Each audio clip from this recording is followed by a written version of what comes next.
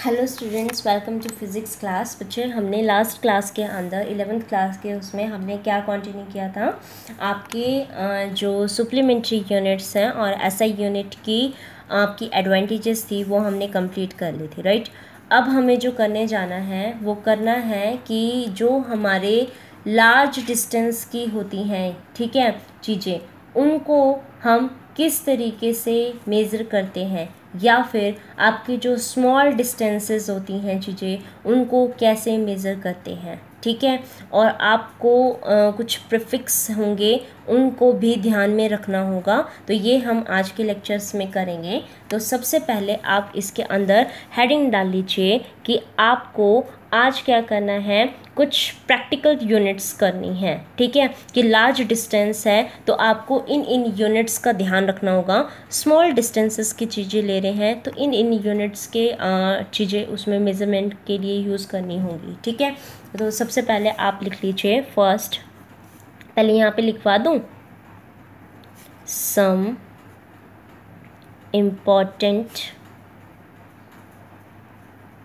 Practical units ठीक है? Some important practical units तो उसमें आपकी, पहले उसमें आती है मैक्रोकॉजम मेज़रमेंट ठीक है? मैक्रोकॉजम मेज़रमेंट तो ये मैक्रो का मतलब क्या होता है बेटा? मैक्रो का मतलब होता है लार्ज ठीक है? डिस्टेंस मेज़रमेंट तो लार्ज डिस्टेंस मेज़रमेंट के लिए हम इसको करते हैं। तो this means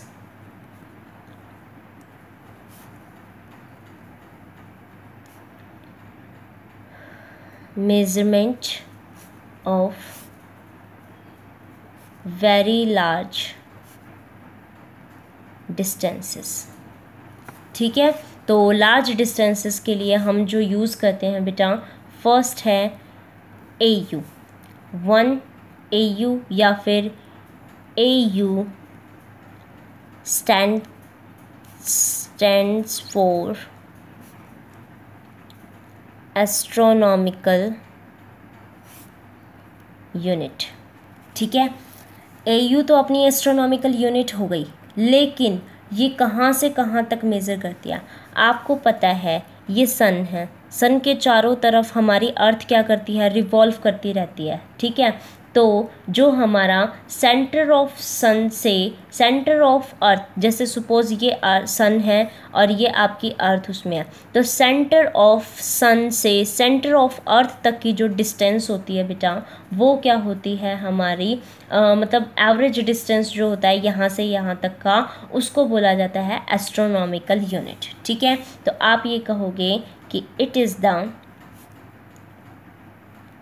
average distance of the centre of sun from the centre of earth ठीक है? इसकी वैल्यू पता होनी चाहिए कि वन एस्ट्रोनॉमिकल की वैल्यू होती है one point five into ten to power eleven metre ठीक है? नेक्स्ट हेडिंग डाल लीजिए आप, किसके लिए? एल वाई यानी कि light year it is light year अब लाइट ईयर कैसे होती है? लाइट ईयर होती है बेटा, जितना डिस्टेंस ट्रेवल किया गया किसी भी लाइट के द्वारा वैक्यूम में एक साल के अंदर। एल वाई का मतलब है लाइट के द्वारा जितना डिस्टेंस ट्रेवल किया गया एक साल के अंदर। ठीक है? तो ये क्या हो जाएगा? It is the distance travelled by light in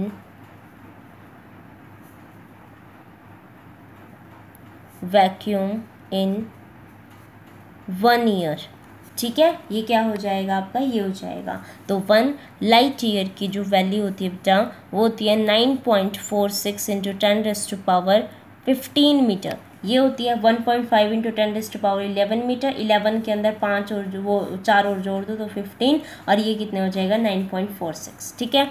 उसके बाद थर्ड थर्ड होती है अपनी पार्सेक अब पार्सिक क्या है आपकी? ठीक है, पार्सिक को बोला जाता है बेटा पैरा लैक्टिक सेकेंड। पार्सेक को क्या बोला जाता है? Parallactic second. तो आप वन पार्सेक कब बोलोगे? ध्यान देना। वन पार्सिक कब बोलेंगे? ये ध्यान देना। पहले ये फिगर देखो। यहाँ है आपकी ये आर्क, जो कि वन एस्ट्रोनॉमिकल यूनिट की है, ये होती है रेडियस ये होता है अपना थीटा ठीक है? और ये जो रेडियस है, ये होती है वन पार्सिक यानी इसको बताना है। तो वन पार्सेक आपकी पूरे सर्कल की रेडियस होती है, ठीक है? जो कि आर्क बनाती है किसी भी सर्कल का वन एस्ट्रोनॉमिकल यूनिट का subtended at an theta is equal to one second ठीक है? यानी कि वन पार्सेक एक सर्कल की सेंटर से वो रेडियस होती है आपकी, जो कि एक आर्क बनाती है सर्कल की वन एस्ट्रोनॉमिकल यूनिट सबटेंडेड है पर्टिकुलर थीटा के ऊपर, जिसकी वैल्यू है वन सेकेंड समझ में आया? तो ये कितना हो जाएगा आपका? It is the radius of circle at the center of which an arc of circle one astronomical unit long subtends an angle of one second ठीक है? तो ये क्या हो जाएगी आपकी? वन पार्सिक हो जाएगी। ठीक है? अब अपने को यहाँ तक स्टॉप नहीं करना था। अपने को क्या करना है? वन पार्सेक की भी, जैसे आपने इसकी वैल्यू बताई है, वैसे ही इसकी भी वैल्यू बतानी है। ठीक है? तो आप लिख लीजिए इसकी वैल्यू को। मैं एक बार पेज कर बेटा।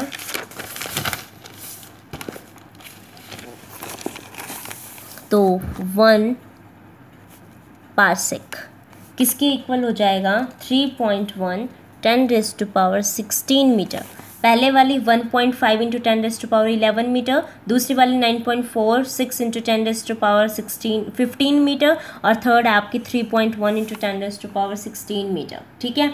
अब जो मेन आता है अपना, वो आता है रिलेशंस निकालने. ठीक है? तो रिलेशन बेटा किसके उसमें आता है? आपको ये बताना है कि वन लाइट ईयर में कितने एस्ट्रोनॉमिकल यूनिट के कितने के इक्वल है? ये निकालना है। तो यानी कि अगर ऐसे है तो आपको क्या कर, देखो आपको ये नहीं समझ में आता पेपर में कि किससे किसको क्या करना है। वैल्यू तो आप ये याद रख लोगे लेकिन ये फॉर्म ड्राइव करनी आती है। तो आपको ये ध्यान में रखना है कि वो वन एस्ट्रोनॉमिकल कितने लाइट ईयर के इक्वल पूछ रहा है, या वन लाइट ईयर को कितने एस्ट्रोनॉमिकल यूनिट के इक्वल पूछ रहा है? अगर ये पूछ रहा है कि वन लाइट ईयर में कितने एस्ट्रोनॉमिकल यूनिट के उसमें होते हैं तो वन लाइट ईयर को वन एस्ट्रोनॉमिकल से डिवाइड कर दो। तो अगर ऐसे करना है तो इसको सॉल्व करने के लिए हमें पता है वन लाइट ईयर होते हैं one nine point four six into ten raise to power fifteen metre right और वन एस्ट्रोनॉमिकल यूनिट होता है बेटा आपका one point five into ten raise to power eleven metre metre तो अगर हमें इसमें इतने, ये कितने होते हैं, वो निकालना है तो one light year by one astronomical unit कर दो। दिस डिवाइड बाय दिस करेंगे बेटा तो हमारे पास आएगा यहाँ पे six point three into ten raise to power four तो इसका मतलब वन लाइट ईयर के अंदर six point three into ten raise to power four astronomical unit present हैं। ऐसे बोला जाएगा। अब आपसे ये पूछा जाए कि वन पार्सिक के अंदर कितने लाइट ईयर में होता है, ठीक है? वन लाइट ईयर में कितने पार्सक है? ये नहीं पूछा। वन पार्सक में कितने उसमें होता है? तो यानी कि वन पार्सक पहले पता होना चाहिए। कितना होता है? Three point one into ten raise to power sixteen metre right बेटा? वन लाइट ईयर कितना होता है? Nine point four six into ten raise to power fifteen तो अगर इसके उसमें मीटर में होता है, ठीक है? तो अगर one parsec by one light year निकालना है पारसेक तो पूरा लिखो बेटा। ठीक है? वन ईयर के उसमें निकालना है तो पार्सिक डिवाइड बाई ये कर दो, ठीक है? तो पार्सिक डिवाइडेड बाई ये, इसका एक वो ज़्यादा है तो इसको इकतीस ही लिख दूँ मैं? या फिर आप चलो कर लेना, इसकी जो रिज़ल्ट आएगी वो थ्री पॉइंट टू सिक्स आएगी। यानी कि one parsec is equal to three point two six time of the one या फिर सीधा लिख दो लाइट ईयर ठीक है? तो ये इसका रिज़ल्ट आ गया। तो ये ध्यान में रखना बेटा, किसके अंदर कितने उसमें निकालना है, ठीक है? तो जिससे जिसमें निकालना हो ना, उसको डिवाइड कर देना आप, ठीक है? तो सिंपल आपका ये निकल जाएगा। क्लियर है? और लार्जेस्ट पूछा जाए ना आपसे कि लार्जेस्ट कौन सा है इन तीनों में तो आप किसका नाम लोगे? लाइट ईयर में से और पार्सेक में से। वन पार्सेक आपका बेटा ग्रेटर होता है किससे? वन लाइट ईयर से। और कितने टाइम्स होता है? Three point two six time होता है। दिख रहा है ना यहाँ से? तो इसका मतलब ये क्या है आपका? ज़्यादा है। और लाइट ईयर और एस्ट्रोनॉमिकल में पूछा जाए तो लाइट ईयर ज़्यादा है। ठीक है? तो वो आपका हो जाएगा। सेकेंड आप हेडिंग डाल लीजिए इसमें बेटा। आपको अब बताना है microcosm measurement microcosm measurement ये किसके लिए होगी बेटा? स्मॉल डिस्टेंसेस के लिए। ठीक है? तो ये क्या है? मेज़रमेंट ऑफ़ स्मॉल डिस्टेंसेस ठीक है? तो स्मॉल डिस्टेंसेस के मेज़रमेंट के लिए हम क्या करते हैं बच्चे इसमें? ध्यान दो। पहला आता है वन माइक्रोन ठीक है, जिसको माइक्रो यानी कि वन माइक्रोमीटर माइक्रो में कितने होते हैं? Ten raise to power minus six metre ऐसे लिख सकते हैं और छोटी यूनिट क्या बन सकते हैं इसके अंदर? वन नैनोमीटर वन नैनोमीटर तो वन नैनोमीटर कितना होता है? ऐसे रिप्रेजेंट किया जाता है तो ten raise to power minus nine metre ठीक है? थर्ड आपकी इसके अंदर हो सकती है one angstrom one angstrom angstrom को ऐसे डिनोट किया जाता है। एंगस्ट्रॉन में होता है ten raise to power minus ten metre बेटा ठीक है? फोर्थ फोर्थ लिख लीजिए। वन फर्मी फर्मी होता है वन फैमटोमीटर या फर्मी ऐसे डिनोट किया जाता है बेटा। Ten raise to power minus fifteen metre ठीक है? और एक और बहुत स्मॉल एरियाज़ के लिए जो आपका किया जाता है फॉर वेरी स्मॉल एरियाज़ उसके लिए हम कौन सी मेज़रमेंट को यूज़ करते हैं? वन बर्न जो कि किसके इक्वल होता है? Ten raised power minus twenty eight metre square के। अब आप ये सोचोगे इसके क्यों? बेटा यूनिट्स वो कन्वर्जन पूछेगा। यहाँ पे कई कई जगह अपने पास बर्न में आंसर निकालना होगा। तो आपको पता होना चाहिए ना कि बर्न में इतने होते हैं। पता ही नहीं होगा तो कैसे करोगे? ठीक है? तो इसी तरीके से आपको ये पता होने चाहिए। और तो फिर बहुत सारी उसकी आ गई आपकी। तो आप एक बारी कर लीजिएगा उसको। ठीक है? मैं कुछ डेफिनेशंस और करवा देती हूँ फटाफट से, ठीक है? डी आपका होता है for heavy masses heavy masses के अंदर आपका आता है बेटा वन टन ख़त्म हो गया ये तो। वन टन जो कि वन मैट्रिक टन भी बोलते हैं, जिसको ये होता है आपका थाउज़ेंड के जी के इक्वल ठीक है? नेक्स्ट है आपका वन क्विंटल क्योंकि क्वेश्चन देगा तो वो अपने को पता होने चाहिए कि इसमें इतने होते हैं, ठीक है?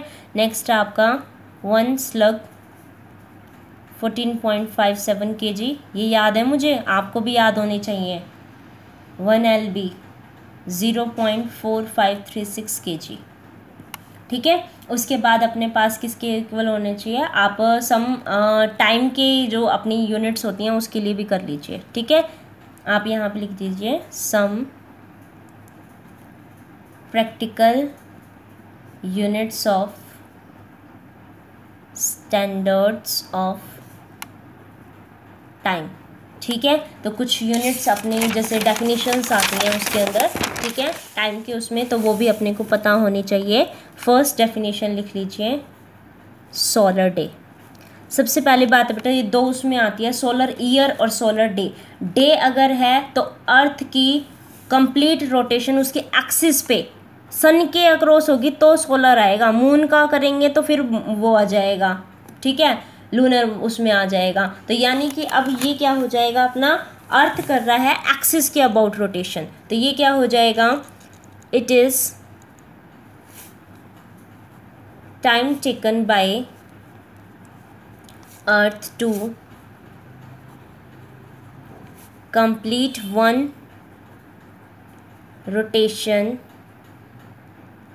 about its axis with respect to sun ठीक है? और मैंने क्या बताया था? सोलर ईयर तो बेटा ईयर बोले ना तो year one rotation of earth around के, इसके सन की इन इट्स ऑर्बिट के उसमें। ये एक्सेस में है, वो ऑर्बिट के उसमें हो जाएगी। तो it is time taken by earth to complete one revolution around the sun in its orbit. ठीक है? उसके बाद थर्ड सिड्रेल डे ये क्या होता है बेटा? फिक्स्ड स्टार के उसमें अगर अपनी एक्सिस पे अर्थ रोटेट करता है with respect to fix star तो उसको सिड्रेल डे बोलते हैं। तो it is the time taken by earth to complete one rotation about its axis with respect to a fixed star. ठीक है? उसके बाद आपके पास आता है यहाँ पे लूनर मंथ तो मैंने लूनर मंथ के बताया था। मंथ मून अगर कंप्लीट करे वन रिवोल्यूशन अर्थ के उसमें, उसकी ऑर्बिट पे तो क्या होता है? लूनर मंथ तो आप नेक्स्ट डाल लीजिए। लूनर मू मंथ ठीक है? तो ऑर्बिट के उसमें आ जाएगा ये। तो it is time taken by moon to complete one revolution around the earth in its orbit तो आपको पता भी होना चाहिए बेटा वैसे तो कि वन लूनर मंथ जो होता है वो two seventy three point two seven twenty seven point three days का होता है। ठीक है? उसके बाद आता है शेक शेक है आपकी smallest practical units of time ठीक है? जिसकी वैल्यू वन शेक की कितनी होती है बेटा आपकी? Ten S to power minus eight second होती है। ठीक है? फिर उसके बाद तो आपकी आ गई प्रेशर के लिए तो प्रेशर जो है वो जैसे वन बार ठीक है? ये कितना होता है? वन बार आपका ten to power five pascal ten to power five pascal या फिर वन मिली बार तो वन मिली बार होता है आपका ten to power two pascal ठीक है? पास्कल में खाली इतना ही होता है बेटा, ठीक है? उसके बाद जो इसकी प्रेशर की नेक्स्ट यूनिट है आपकी वन टोर वन टोर यानी कि one M M of mercury column. ठीक है? ऐसे भी हम इसको बता सकते हैं। अब आप यहाँ पे लिख लीजिए कि ये जो आप बोल रहे हो, वन सोलर ईयर आपने जैसे बोला था, ठीक है? तो वन, जैसे ये सोलर ईयर आपने बोला तो वन सोलर ईयर कितने स्टेडियल डे के इक्वल होता है, उसको भी लिख लीजिए। तो यहाँ पे लिखवा दूँ मैं?